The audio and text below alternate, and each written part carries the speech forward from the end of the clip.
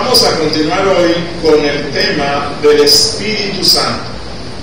Yo espero y confío en Dios que este tema que nos encontramos estudiando sea altamente beneficioso para nuestra alma, que realmente sea altamente beneficioso para nosotros, tanto en el aspecto personal como congregacional. Como cristianos es necesario que tengamos un pleno conocimiento de la doctrina del Espíritu Santo y eso es lo que nosotros nos encontramos haciendo en estos estudios.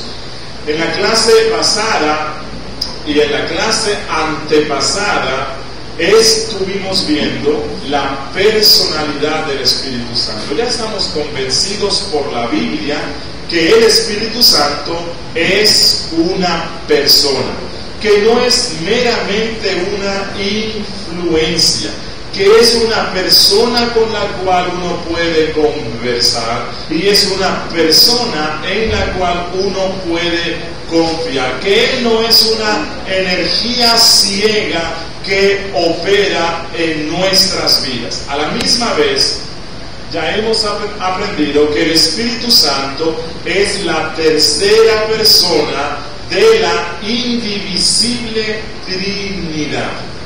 Vimos en la clase pasada muchas argumentaciones bíblicas que nos muestran de una forma contundente que el Espíritu Santo es Dios mismo que no es una criatura especial o una criatura con un rango muy alto. No, nosotros hemos visto ya que el Espíritu Santo es Dios mismo. A la misma vez, vimos que este Dios que es uno, único, indivisible, que no puede ser fraccionado, este Dios que tiene una sola esencia, que no son tres, sino una sola esencia, subsiste en tres personas, las cuales, aunque son un solo Dios indivisible, pueden ser distinguidas la una de la otra. Y aquí vuelvo al enredo, a lo incomprensible. Dios es una sola sustancia. No son tres, es una sola. No obstante, este Dios subsiste en tres personas. Aunque Dios en su esencia no puede ser fraccionado, no obstante, las tres personas que conforman la Trinidad pueden ser distinguidas plenamente la una de la otra, sin que esto signifique que Dios puede ser fraccionado. Hemos visto que no la Trinidad no es algo eh, así como que Dios consta de tres partes. Una parte es el Padre, una parte es el Hijo y una parte el Espíritu. Que cuando tú unes las tres partes, allí tienes a Dios. No, así no es Dios. Dios es una sola esencia que subsiste y no digo que existe porque algunas doctrinas erróneas enseñan que Dios en el Antiguo Testamento existió como el Padre, que en el Nuevo Testamento existió como el Hijo y que hoy existe como el Espíritu, pero que es una sola persona. No, Dios subsiste en tres personas que son el Padre, el Hijo y el Espíritu Santo. Y aunque las tres personas pueden ser distinguidas la una de la otra, como nos lo muestra el bautismo de Cristo, cuando Jesús fue bautizado, el Padre pudo ser distinguido del Hijo y del Espíritu, porque el Padre estaba en el cielo hablando y diciendo, este es mi Hijo amado, pero a la misma vez el Espíritu Santo pudo ser distinguido del Padre y del Hijo, porque mientras el Padre hablaba, el Espíritu descendía sobre el Hijo en forma de paloma. Y el Hijo a la misma vez pudo ser distinguido del Padre y del Espíritu porque Él era el que estaba siendo bautizado y del cual el Padre hablaba y sobre el cual el Espíritu Santo vino. No obstante, es un solo Dios, no son tres dioses. Ya hemos visto que dentro del ser de Dios hay un orden y que en ese eh, orden, nosotros hablamos del Padre como la primera persona, que hablamos del Hijo como la segunda persona y que hablamos del Espíritu Santo como la tercera persona. ¿Por qué? Porque el Padre es la fuente del ser y el Padre es la fuente de todo. Por lo tanto, Él es la primera persona. Jesús, el Hijo, es la segunda persona porque la Biblia nos dice que Él ha sido engendrado eternamente por el Padre. En la clase pasada insistimos en que el término engendrado eternamente no significa creado. El Hijo de Dios no ha sido creado. ¿Por qué? Porque Él es Dios y Dios existe desde siempre. Dios es. El Hijo de Dios eternamente ha sido engendrado por el Padre. Ahora, ¿cómo es esto? de que un hijo sea engendrado por el, por el Padre, pero que a la misma vez no sea creado y que eso no signifique que hubo un punto en el cual no existía y que Él empezó a existir solamente desde cuando fue engendrado. Nosotros no entendemos eso porque nosotros vivimos en el tiempo. Y cuando uno dice que un padre engendra, eso significa que el ser engendrado empieza su existencia desde el momento en el cual el Padre lo engendra. Eso no aplica a Dios ni aplica al Hijo. El Hijo ha sido eternamente engendrado por el Padre. No entendemos eso y no lo piense tanto. Créalo porque es lo que la Biblia dice. Y al Espíritu Santo vimos que se le llama la tercera persona porque Él procede del Padre y procede del Hijo. Jesús dijo en Juan que Él rogará al Padre, que Él enviará al Espíritu Santo, el cual procede del Padre. Al Espíritu Santo se le llama el Espíritu de Cristo. Así que el Espíritu Santo procede del Padre y del Hijo. Significa eso que hubo un tiempo en la eternidad en el cual el Padre, el Espíritu no procedió ni del Padre ni del Hijo. No, porque Él es Dios y Él siempre ha procedido del Padre y del Hijo. Y que Él es una persona ya lo hemos visto de una forma clara. Así que yo espero que aunque no comprendemos totalmente la doctrina de la Trinidad, la vamos a aceptar por fe porque es lo que la Biblia dice. ¿Por qué es importante que nosotros estudiemos esto, aunque eso tiene cierta complejidad? Miren, porque una vida cristiana genuina, una piedad genuina se funda en el conocimiento que nosotros tengamos de Dios.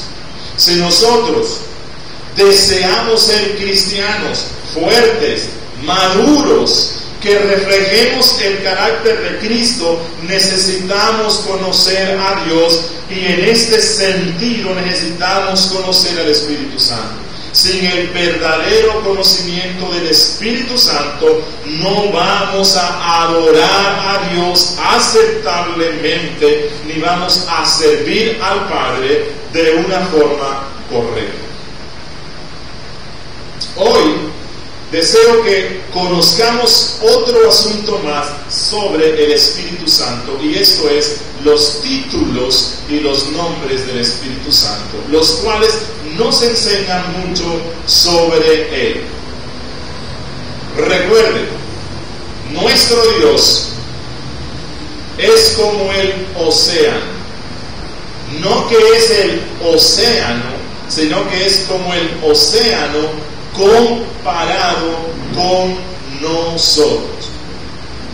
Usted no puede tomar el océano en su mano. ¿Por qué? Porque Él es vasto, inmenso. Bueno, Dios es inmenso, muchísimo más. Dios es infinito. Nosotros somos finitos. Si nosotros quisiéramos conocer a Dios sin que Él se revele a sí mismo, esto sería imposible. Pero como Dios es un Dios misericordioso y Él nos creó para que le adoráramos, y la única manera correcta de adorarlo es conociéndolo, entonces Dios se ha dado a revelar a sí mismo ante nosotros. Pero Dios no se puede revelar completamente. ¿Por qué? porque Él es más vasto que el océano, Él es más vasto que todo el mundo y nosotros no podemos comprenderlo. Así que Dios ha dado a conocer todo aquello que es necesario que nosotros conozcamos de Dios y especialmente Dios se nos da a conocer en la Biblia por medio de sus atributos. Cuando, cuando nosotros conocemos los atributos de Dios, estamos conociendo algunos aspectos de ese santo Dios, aspectos que son para nuestra edificación. De la misma manera, Dios se revela al hombre por medio de sus nombres. Los nombres y los títulos que Dios asume para sí mismo y que están revelados en la Biblia tienen como fin enseñarnos o mostrarnos algo sobre su carácter, mostrarnos o enseñarnos algo sobre lo que es Él. Los nombres en nuestra sociedad hoy no tienen gran importancia. Realmente hoy, usted cuando le va a poner un nombre a su hijo, no se pone a pensar en su personalidad, no se pone a pensar en lo que él será, sino que simplemente eh, si es un nombre que suena bien, si es un nombre que rima con el apellido, o si tal vez es un nombre de una persona que tiene fama, de un actor, de un deportista, o qué sé yo. Pero usted no se pone a pensar, ni siquiera investiga el significado del nombre. Pero en los tiempos bíblicos las cosas no eran así. En los tiempos bíblicos los nombres eran muy importantes porque se relacionaban con la cosa o el carácter de la persona. Es así que la Biblia nos dice que Abraham le puso a su hijo el nombre de Isaac. ¿Por qué razón? No porque era un nombre de mm, fama, no porque era un nombre que combinaba con el apellido, no, era porque Isaac representaba, apuntaba hacia aquello que significaba el nacimiento de ese niño. Esto es risa. El nacimiento de este niño trajo gozo y alegría a sus padres ancianos, los cuales estaban riéndose de gozo ante Dios, que en medio de su estado de vejez, Dios le ha dado un hijo. Jacob. Jacob es un nombre que para algunos puede que suene muy lindo, pero Jacob significaba engañador. Y era un nombre que apuntaba al carácter de aquella persona al cual se le puso. Los nombres en la Biblia son muy importantes. Por lo tanto, es necesario que todo cristiano analice y conozca el significado de los nombres que Dios mismo se ha dado. Porque Dios se manifiesta a nosotros y podemos conocerlo aún más. Bueno, el Espíritu Santo en la Biblia recibe muchos nombres, muchos, tiene muchísimos y no los vamos a estar viendo todos, solo vamos a estar viendo unos, posiblemente los que más usa la Biblia y otros con un significado muy importante para nosotros. Eh, eh, así que partimos afirmando que el Espíritu Santo en la Biblia recibe muchos nombres y muchos títulos, los cuales nos dicen mucho respecto a su personalidad, respecto a lo que Él es, respecto a su deidad. Pero es importante ver que algunos nombres son comunes tanto al Padre como al Hijo como al Espíritu Santo. En la Biblia algunos nombres se aplican a las tres personas. Y esto, vuelvo a insistir en el tema, nos muestra que nuestro Dios es uno, que nuestro Dios es uno solo. Incluso hay nombres o eh, títulos que se aplican al Espíritu Santo que se aplican a los otros dos o a alguno de los otros dos. Por ejemplo, el Espíritu Santo tiene el nombre del Espíritu, pero la Biblia misma nos dice que Dios, Dios el Padre, también es Espíritu. Luego vamos a ver que el Espíritu Santo se le da el título de paracletos o abogado, pero a la misma vez Cristo también recibe el nombre de paracletos. Ahora, ¿qué significa esto? no que hay confusión, sino que esto nos lleva al tema de la concurrencia. Concurrencia. Pastor, usted viene con otra cosa rara. No, no es algo raro, sino que como Dios es uno solo, pero cada una de las personas tiene ciertas funciones especiales dentro del pacto de gracia. Por ejemplo, a Jesús se le asigna como que Él es el redentor. Al, del Padre se dice que Él es el creador. Del Espíritu Santo se dice que Él es el consolador o el santificador. Bueno, lo mismo que se dice del Espíritu se puede decir de las otras dos. ¿Por qué? porque en Dios siempre hay concurrencia. Lo que hace el Espíritu Santo también lo está haciendo Dios el Padre y lo está haciendo el Hijo, porque es un solo Dios. En la Biblia se nos muestra que la redención fue obrada por Cristo.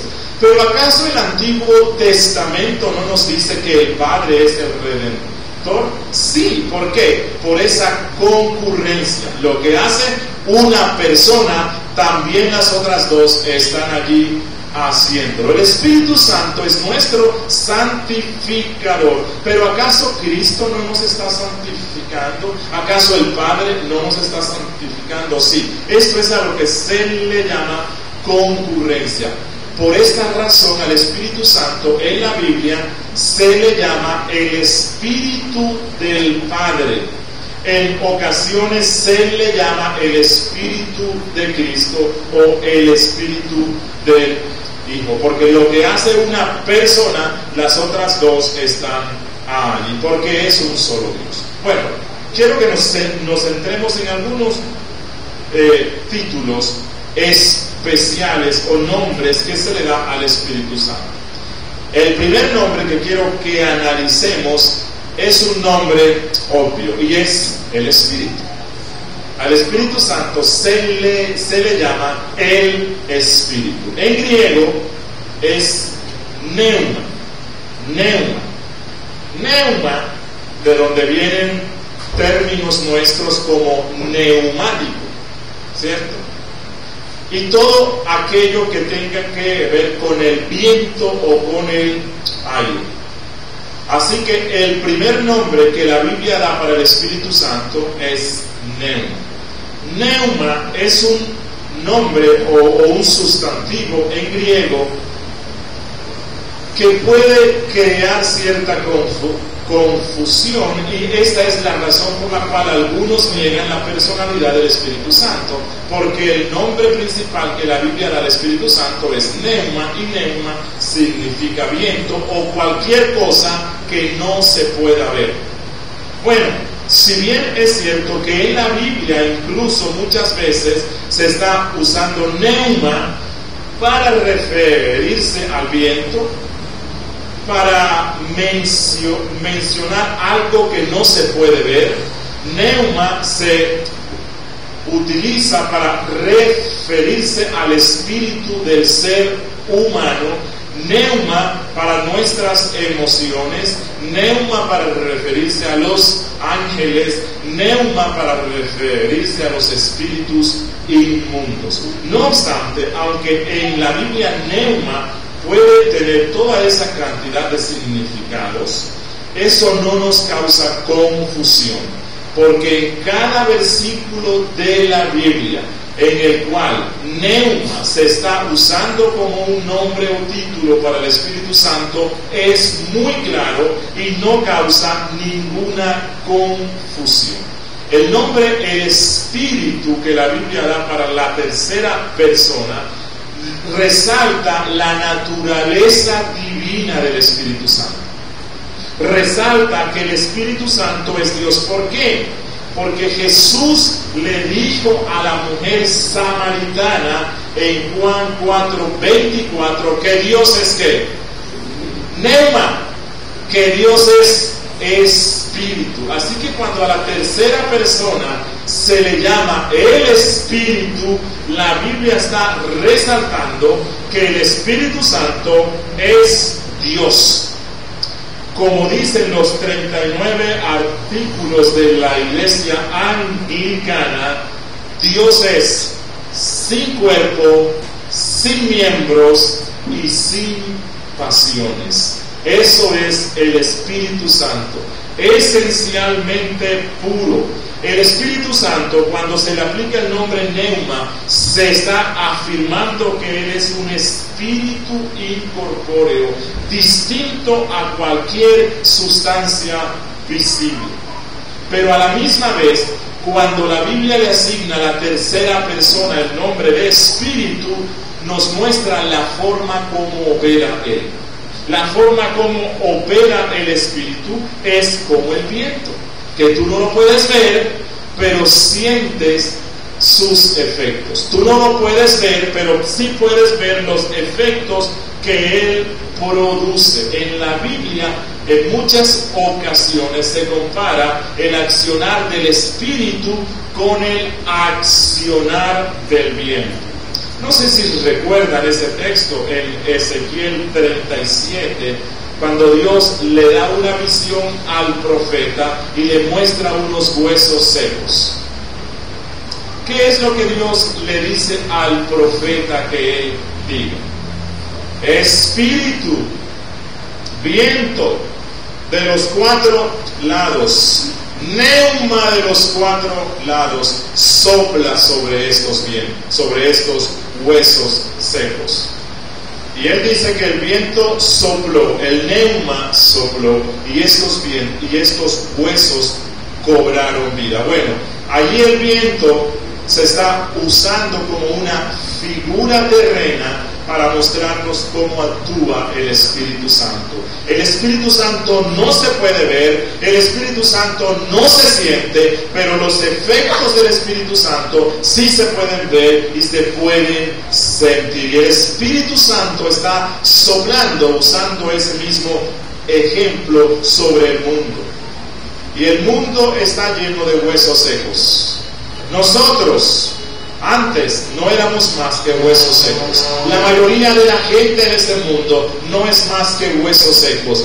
Dios está viendo este mundo como un mundo lleno de putrefacción y de huesos secos. Y el Espíritu Santo sopla, como dice Cristo en Juan 3, sobre quien Él quiere.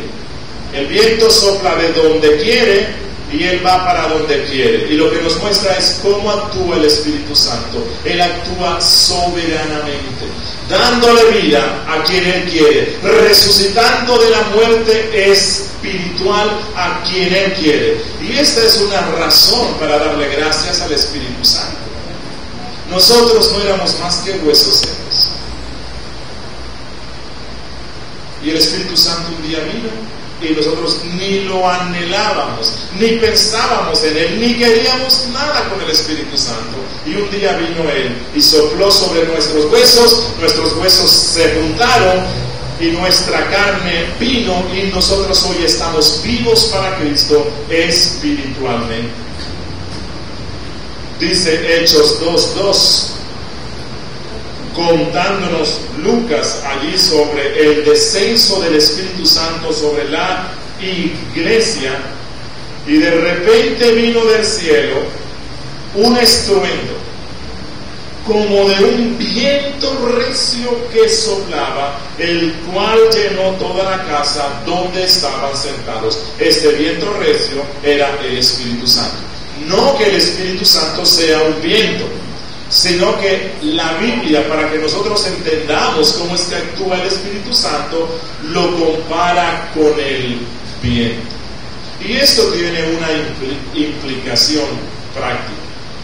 Hay personas, amados hermanos en la fe, que hoy día ellos creen que para que uno sea lleno del Espíritu Santo necesita sentir algo necesitas sentir una fuerza, una energía, una electricidad, algo que te muestre que el Espíritu Santo está allí. No, el título que la Biblia da al, al Espíritu Santo, que es Espíritu, nos, nos muestra la forma sobrenatural como actúa Él. No lo sentimos, no lo vemos, pero sí podemos ver los efectos que Él produce. Usted podrá concentrarse y hacer que su psiquis funcione. Usted podrá elevar la sensibilidad de sus emociones a tal punto que usted sienta algo, pero le aseguro que eso no es el Espíritu Santo. Y le aseguro que eso no transformará su vida, porque así no actúa el Espíritu Santo, Él actúa secretamente, como el viento. Él actúa secretamente como el viento pero usted puede ver los efectos. Lleno del Espíritu Santo, no es aquel que se emociona y tiembla. Lleno del Espíritu Santo es aquel que manifiesta el carácter de Cristo en su vida diaria. El efecto del Espíritu. Un segundo nombre que recibe la tercera persona de la Trinidad es el Espíritu Santo. No solamente se le llama el neuma, sino que se le llama el Espíritu Santo, que es el nombre habitual que se le da en el Nuevo Testamento. El Espíritu Santo. ¿Y por qué se le pone santo? ¿Por qué simplemente no se le llama el Espíritu?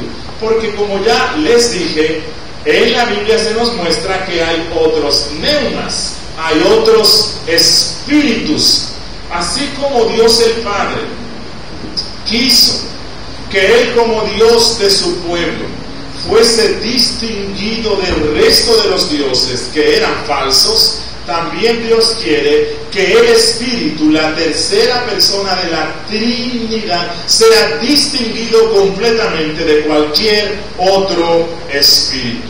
Dios dijo, Éxodo 15, 11, ¿quién como tú, oh Jehová, entre los dioses? ¿Quién como tú, magnífico en santidad, terrible en maravillosas hazañas, hacedor de prodigios? En esta canción, lo que el Espíritu está haciendo con Dios el Padre es No lo confundan con ningún otro Dios, porque nuestro Dios es único, distinto al resto de los dioses, los cuales son falsos. De la misma forma, Dios hace con el Espíritu Santo.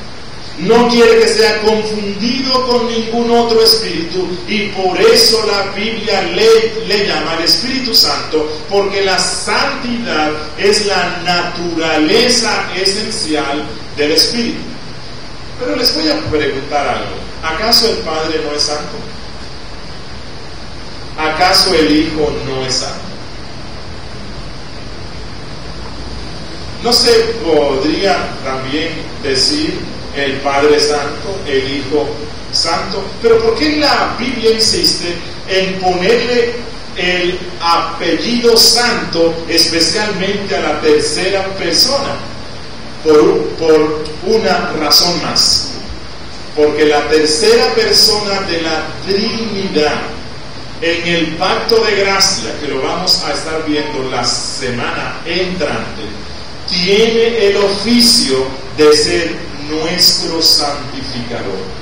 El Espíritu Santo se le llama el Espíritu Santo porque Él tiene el oficio dentro del plan de redención de ser el santificador del cristiano.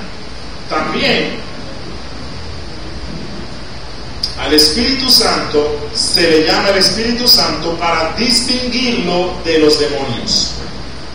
Para distinguirlo de los demonios. Recuerden que los demonios también son espíritus. Y la Biblia dice que el diablo en ocasiones se viste de ángel de luz. John Smith, el fundador del mormonismo, tuvo un encuentro con un espíritu. Y el espíritu no se le presentó con cuernos, no se le presentó con un vestido rojo, no se le presentó como en la edad media se presentaba al diablo. Este espíritu se le presentó como un ángel de luz que infundía cierta paz. Brillante, dice él, que era un ángel, un espíritu brillante que le trajo una nueva revelación, el libro del Mormón. La Biblia se esfuerza en mostrarnos que hay una distinción infinita entre la tercera persona de la Trinidad como espíritu y cualquier otro espíritu, y especialmente respecto a los espíritus malos. Jesús dijo en Marcos 3, 29 y 30, pero cualquiera que blasfeme contra el Espíritu Santo no tiene jamás perdón sino que es reo de juicio eterno. Porque ellos habían dicho, tiene espíritu sucio, o tiene espíritu malo, o tiene espíritu impuro. Ellos estaban confundiendo al Espíritu Santo con un espíritu inmundo. Y la Biblia dice, nunca, nunca jamás se puede confundir a la tercera persona porque él, además de ser espíritu, tiene una particularidad esencial, infinita y distinta de cualquier otro espíritu, y es que Él es santo. Por tal razón, es que nosotros como iglesia bautista reformada, como iglesia bíblica, jamás permitiríamos que en medio de nuestros cultos se levante una persona y diciendo que está llena del Espíritu Santo, cause un desorden en el culto honorable y solemne al Padre. Se ha vuelto muy común hoy que algunos cultos están llenos de un desorden donde las personas se caen al piso, donde las personas convulsionan y algunos se ríen frenéticamente y algunos saltan y brincan y se tropiezan contra otros. Pero eso nada tiene que ver con la tercera persona, la cual además de ser un espíritu, es santo.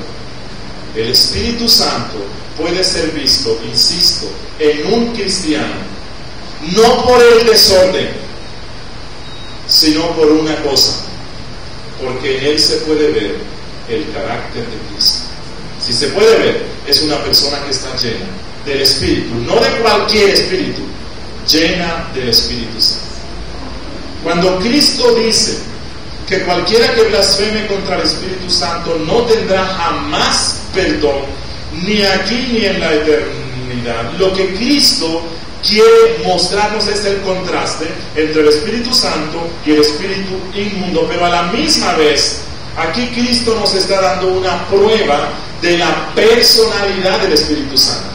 Cuando Cristo dice, cualquiera que blasfeme contra el Espíritu Santo no tendrá perdón, y luego dice que Jesús afirmó eso porque los fariseos habían dicho que tiene espíritu inmundo, Jesús está haciendo un, un, contraste entre el Espíritu Santo y el Espíritu inmundo. Ahora, el Espíritu inmundo es una persona. Y si Cristo hace este contraste es porque necesariamente el Espíritu Santo es una persona. Si el Espíritu Santo fuera una fuerza o una energía, no se pudiera hacer la oposición entre el Espíritu Santo y una persona. Pero a la misma vez Jesús ahí está afirmando la divinidad del Espíritu Santo. ¿Quién más sino Dios puede ser blasfemado? Únicamente Dios, así que si Cristo dice que el Espíritu puede ser blasfemado, es porque Él es Dios. Y hay un tercer título que la Biblia da para el Espíritu Santo, y este es Paracletos. Paracletos, o como dice en griego, Parácletos. El Paracleto en, es español. Este es otro título que la Biblia Si usted busca en su concordancia, no lo encontrará. Si luego entra la concordancia electrónica para ver si en la versión que nosotros tenemos está esto, no está. ¿Por qué? Porque este es un término griego que en la Biblia ha sido traducido. En Juan 14, 16. Juan 14, 16. Jesús dice,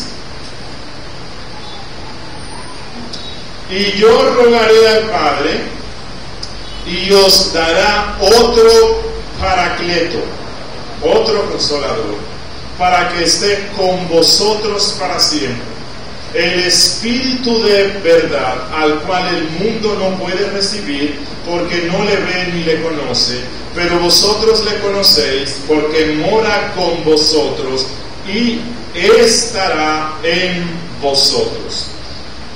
Paracleto es otro nombre o designación que la Biblia da para el Espíritu Santo. Y creo que es importante que conozcamos el significado. Aquí en la versión nuestra está traducido como consolador, que es una traducción que se hace realmente del latín confortis, confortis, el cual significa más que aquel que da un consuelo. Confortis es aquel que está a nuestro lado para darnos fuerza. Confortis. Fuerza con. El Espíritu Santo viene a fortalecernos. Pero deseo que nos concentremos un poco en, este, en esta designación, paracletos. Paracletos en la Biblia también ha sido traducido abogado.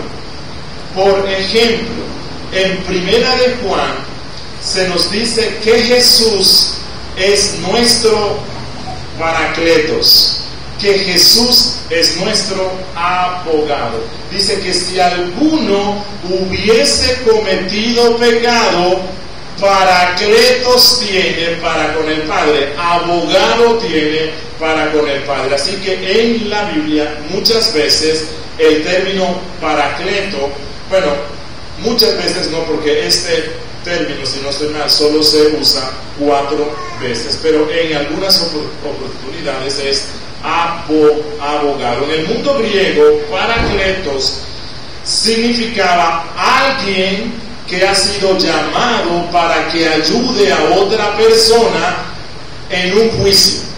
No necesariamente el abogado, pero sí a alguien que le da consejo a una persona que está siendo acusada. En algunas versiones griegas del Antiguo Testamento, a los consoladores de Job se les llama paracletos. Así que paracletos no, es simplemente un abogado, no es simplemente alguien que auxilia a una persona en un juicio, sino que es alguien que consuela, que es un consola, consolador. Bueno, el primer paracletos que el cristiano tiene no es el Espíritu Santo el primer paracleto o abogado o auxiliador que el Espíritu Santo tiene es quién? Cristo. Jesús dice aquí en Juan 16, yo rogaré al Padre y Él os dará otro paracleto. Y cuando dice otro paracleto es porque ¿quién había sido antes paracleto? Cristo. Y para entender ¿Qué es lo que el Espíritu Santo viene a hacer hoy día con nosotros como nuestro paracleto? Hay que ver qué es lo que hacía Cristo como paracleto de sus discípulos. ¿Qué hizo Cristo con los suyos? Los escogió, los envió, los instruyó, les dio poder cuando eran torpes, les dio su regaño. Cuando necesitaban consuelo, les dio consuelo. Jesús estuvo siempre a su lado para fortalecerlos, para que llegasen a ser las personas que Él quería ser. Bueno, Jesús en Juan 14 está despidiéndose de sus discípulos. Jesús está a puertas de la muerte. Esto sucedió unos días antes de su muerte. Así que Cristo está diciéndoles, yo me voy. El paracletos, el abogado, el auxiliador, el consolador se va. Pero no estén tristes, porque no los dejaré solos yo rogaré al Padre, el cual enviará otro paracletos. Y esto nos muestra nuevamente la doctrina de la Trinidad. Y a la misma vez nos muestra el orden que hay en el ser de Dios. ¿Quién es el que envía al Paracletos? ¿Quién lo envía? Según Juan 14, 10, 16 y yo rogaré al Padre. El Padre, la primera persona de la Trinidad. ¿Quién es el que ruega para que el Padre envíe al Espíritu Santo? Cristo, la segunda persona de la Trinidad. Él ruega al que lo puede enviar. El Padre lo envía porque Él es la primera persona por medio de la mediación del Hijo, la segunda persona. ¿Y cuál es el resultado del ruego del Hijo al Padre? Que entre los dos envían a quién? Al Espíritu Santo, la tercera persona. El Padre envía, el Hijo ruega y el Espíritu Santo es enviado. Eso nos muestra no solamente la triunidad, sino que nos muestra el orden en el ser de Dios. Miren, el Espíritu Santo como nuestro paracleto es esencialmente nuestro ayudador. Es tu ayudador. ¿Cómo? El Espíritu Santo consuela, que es lo que Cristo quiere mostrar aquí. yo partiré, yo pasaré por la muerte, ustedes serán perseguidos, pero el Espíritu Santo vendrá a consolarnos. El Espíritu Santo es nuestro consuelo en medio de nuestras aflicciones. Pero el Espíritu Santo, como nuestro paracletos, no solamente nos consuela, el Espíritu Santo enseña qué es lo que dice Jesús en el verso 10, 17. Él nos enseña, hermano, estás leyendo la Biblia y no entiendes nada. Clama al Espíritu Santo. Él fue enviado como tu paracletos, como tu auxiliador, que el sentido es como de un bastón, de un bastón en el cual tú te puedes afirmar. El Espíritu Santo vino para ayudarte, para guiarte a toda la verdad, como dice aquí Cristo. El Espíritu Santo nos ayuda, dice el apóstol, en nuestras oraciones. No sabemos cómo orar, somos torpes, pero si clamamos al Espíritu Santo, Él nos ayuda para que presentemos al Padre un clamor correcto. Así que el Espíritu Santo, como paracletos, ha sido enviado para consolar, amonestar, enseñar, guiar para ser nuestro ayudador. De manera que los cristianos somos altamente bendecidos. Mire, supongamos que alguien va a la fiscalía y lo acusa a usted de un hecho grave, penalizado por nuestra ley.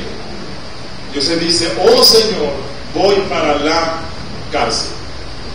Si contra usted se imputan cargos mm, falsos, pero que si usted no tiene una buena defensa, implicará que lo llevan a la cárcel. ¿Qué es lo que uno tiene que hacer? Bueno, tengo que orar mucho, sí, pero tengo que buscar un abogado.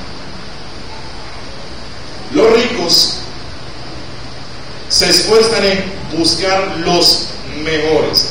Y no solamente uno, sino en, tener el mejor buffet de defensores. Bueno, contra nosotros constantemente se levantan cargos en el cielo y en la tierra. Constantemente.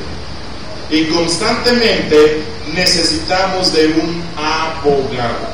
Pero los cristianos somos altamente bendecidos porque nosotros tenemos a nuestra disposición no un abogado, sino un buffet de abogados. Tenemos dos, los mejores que hay en el mundo uno en el cielo y uno en la tierra. En el cielo Jesús es nuestro abogado. Apocalipsis 12:10 nos dice que Jesús nos defiende de nuestro gran acusador que es el diablo. Y Él está allá delante del juez de toda la tierra como nuestro defensor. ¿Y usted cree que Cristo ha perdido un solo caso? Nunca, porque Él es un abogado efectivo. Pero además de eso, nosotros tenemos un abogado en la tierra, un defensor que nos ayuda y que cuando nosotros no sabemos qué hacer, este abogado nos instruye por medio de su libro, ilumina nuestras mentes de manera que nunca perdamos un caso. El Espíritu Santo desde el día de Pentecostés está con la iglesia. Por esa razón es que nosotros estamos convencidos que el Pentecostés no se repite nunca, porque en Pentecostés el Espíritu Santo vino para quedarse de una vez y para siempre con nosotros como nuestro abogado, como nuestro consolador, como nuestro auxiliador, como nuestro apoyo. Hermano, ¿será que teniendo a tan excelsos defensores, y será que teniendo a tan excelso defensor, se justifica que nos conduzcamos en esta vida, en una vida cristiana ruin, en una vida cristiana miserable donde aún no estamos mostrando el carácter de Cristo? ¿Será que se justifica que algunos cristianos aún no lean la Biblia porque dicen que no entienden nada? Hermano, si no entiendes, acude al Espíritu Santo. Jesús robó al Padre para que te odiera y Dios le respondió la petición al Hijo y Él te lo ha dado. Es tu auxilio en medio de las pruebas, en medio de aflicciones donde tú no sabes qué hacer. Clama al Espíritu Santo y por medio de su palabra, no por medio de sueños, no por medio de visiones, no por medio de profecías, por medio de su palabra, el Espíritu te ayudará efectivamente para que honres al Padre en medio de cualquier situación. Demos gracias Dios. Oh bendito Dios, Padre nuestro que estás en los cielos, te damos gracias por tu palabra y gracias especialmente por la palabra que inspiró el Espíritu Santo, porque ella nos ha mostrado hoy, por medio de los nombres y los títulos del Espíritu, la enorme bendición que tú nos has dado al contar con ese ser divino que es una persona, el cual nos convierte, el cual nos pasa del estado de muerte al estado de vida, el cual nos pasa del estado de oscuridad al estado de luz. Gracias Espíritu Santo, porque cuando no te lo pedimos, cuando no clamamos a ti, tú viniste a nosotros, nos regeneraste, nos diste nuestra vida y despertaste en nosotros un amor hacia Cristo. Gracias, Señor, por enviarnos a nuestro paracleto, a nuestro ayudador, a nuestro auxiliador, auxiliador. Gracias por el Espíritu Santo, porque Él nos hace presente a Cristo y al Padre, porque Él nos consuela. Gracias Espíritu de Dios, porque en medio de nuestra torpeza más grande, tú nos guías a toda la verdad y nos guías a honrar al Padre y al Hijo. Ayúdanos, oh Espíritu Santo, a depender totalmente de ti, a depender constantemente de tu accionar en nuestras vidas. En el nombre de Jesús. Amén. Preguntas.